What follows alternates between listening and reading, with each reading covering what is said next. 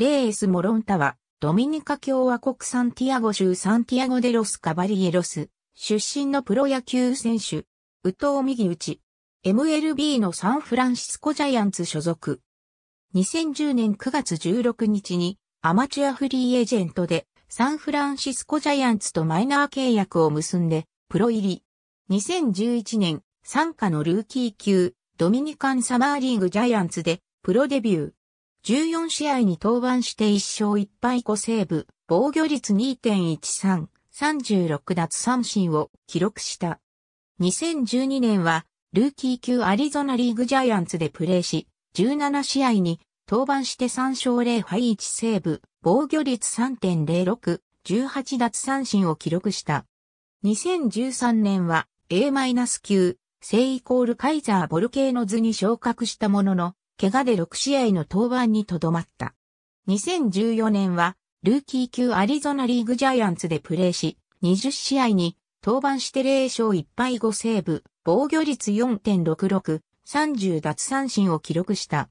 2015年は A 級オーガスタグリーンジャケッツでプレーし、42試合に登板して1勝7敗12セーブ、防御率5.73、64奪三振を記録した。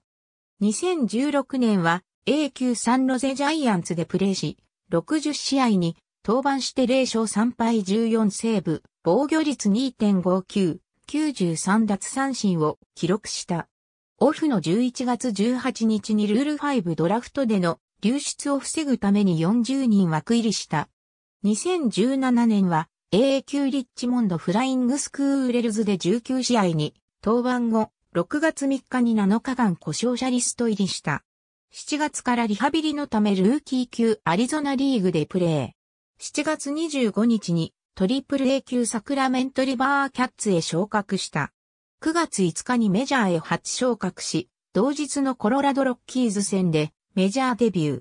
3点ビハインドの7回裏から登板し、0.2回を投げに安打1失点で降板した。この年メジャーでは7試合に登板して、防御率2.70、11奪三振を記録した。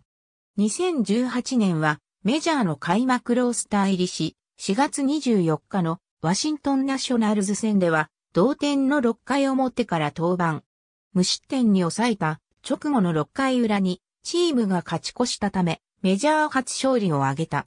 6月20日のマイアミマーリンズ戦では1点リードの9回表西1.2塁から登板し、打者1人を抑え、初セーブを記録した。この年は69試合に登板して5勝2敗1、セーブ、防御率2.49、79奪三振を記録した。2019年は56試合に登板して3勝7敗、防御率2.86、70奪三振を記録した。9月には右肩関節唇を痛めて手術を受けている。2020年は前年の手術もあって全休し、リハビリに専念している。球威抜群のフォーシームに空振りを量産するスライダーを持つ。ありがとうございます。